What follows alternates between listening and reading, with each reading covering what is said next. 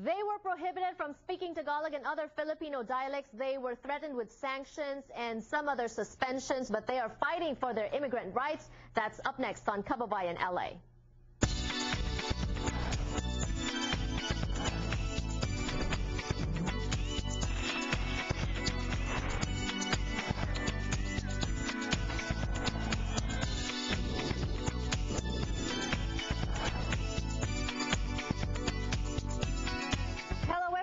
Welcome to America's number one daily talk show for and about the Filipinos. This is Kababayan LA, where today we're going to be discussing the case of some Filipino and Filipino American nurses working at a hospital. They were prohibited from speaking Filipino. They felt harassed and they were also uh, threatened with different sanctions. We're going to be talking about that today on the show because we have what we call our immigrant rights. Alamin po natin ang story nila ngayong hapon sa ating programa.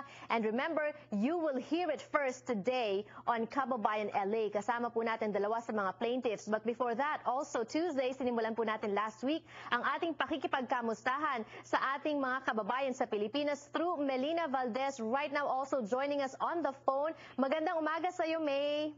Hi, a holy Wednesday to you here, of course, in Manila. Today is Immaculate Conception Day, Feast of the Immaculate Conception. Oo. So most of the Filipinos are going to Mass today, of course. Ayan. Good morning, Janelle.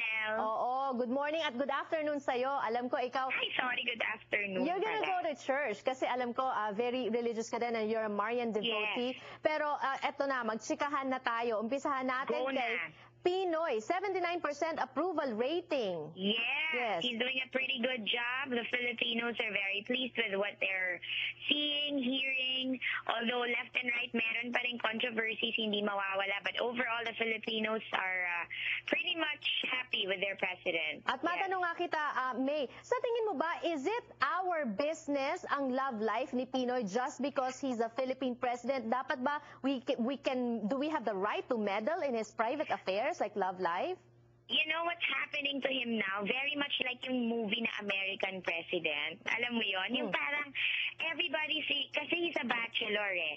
It's not as if we're it, it's the topic of conversation pag breakfast, no? It's just that everybody also kasi is interested dahil nga single ang ating Pangulo and ang mga tinedate pa niya ay medyo hindi din low profile na mga tao, no? Very, like, recently, di ba, alam naman nating lahat si Liz Uy ang kanyang ah, naging latest na lady love, although sinabi na nga ni Raymond Gutierrez sa kanilang talk show last Sunday, Liz is very much single and ah, mukhang binasted niya si Pino, yun ang chismis. Ayan. Kaya naman he was seen very recently naman with a new girl. Oh.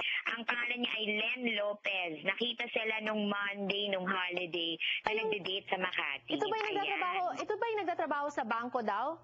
Correct. Oo. Isa siyang ah, stockbroker Oo. at member siya ng isang ano, yung- member siya ng Affluent Lopez clan at ito ng twist Jan Janelle. Ito ang Mm. pinaka-interesting. Oh. Best friend daw siya ni Luli Arroyo. Nakakaloka. Ayan, oo nga, nako, medyo ano yan, twist masalimuot. story. Oo.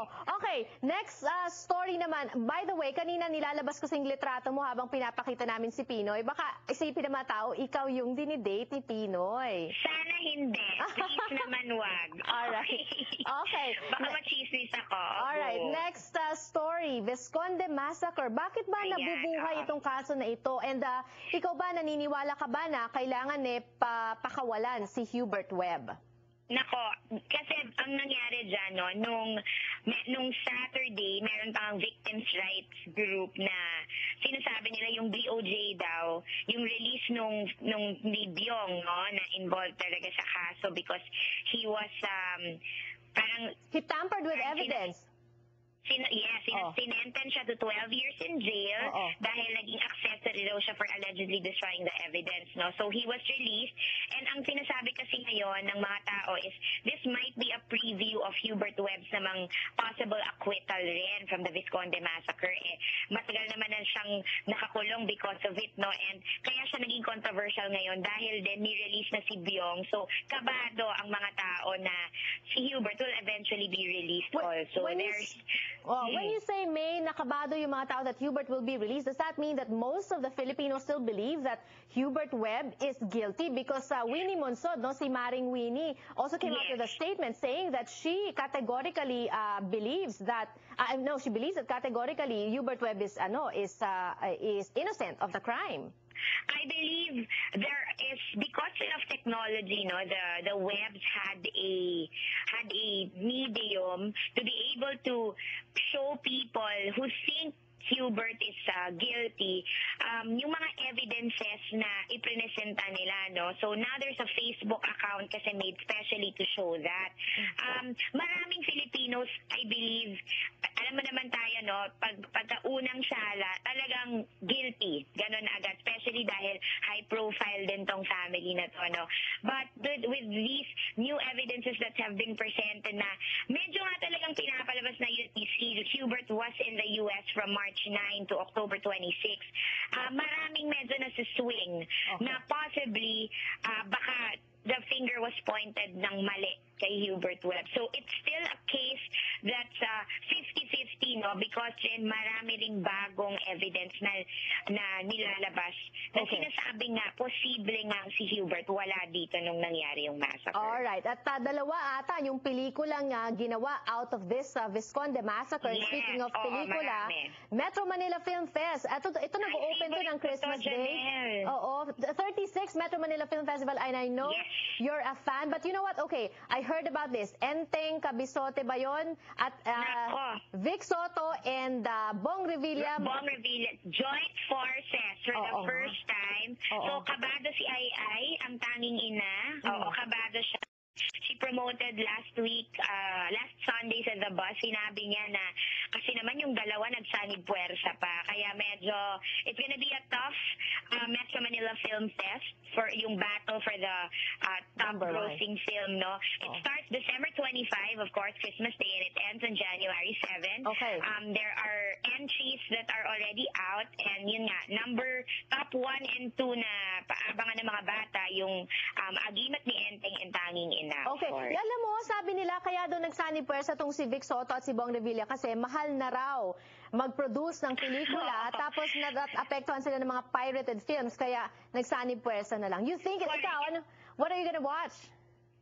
I'm gonna, well, my best friend and I, may tradition kami. We we watch it talaga. We critique it, ha? As a matter of fact, I blog about it. Um, we're definitely watching Rosario. This is the 10 million film, budget film. May Okay. 10 million yung budget ng film. Mm. Um, na story about the Lola, believe, of MVP, of Manny Pangilinan. Oh, okay. And ito yung first na movie na venture nung uh, TV5 na movie out, na movie outfit. So, Ayan. interesting siya. It's a period film directed by Albert Martinez. I think that's one of my top ones that I am watching. Together Ayan. with, of course, Tanging Ina and the, the Sunny Puersa movie. Ayan, There. alam, The Sunny Puerto movie. Alam mo, Yes. wish ko lang makauwi ako, sana makapanood din ako. Pero kung Ako, hindi, favorite ng mga Pinoy ng pumila ng kahaba-haba Oo. para lang manood ng mga pelikulang yan. padalhan mo Ganyan. naman ako ng DVD, pero wag yung pirated ha. Huwag na pirated, bawal. Alright. Okay. Thank you so much, May, and we'll talk to you again Thank you next also. week. Alright. See you soon. Alright. That was Melina Valdez. Siya po ang ating correspondent sa Manila, Philippines. Kung meron po kayong gustong malaman about the Philippines, she can report it to us. Uh, email us kababayan at la18.tv. Magbabalik pa po tayo. Seryosong usapan. Don't go away.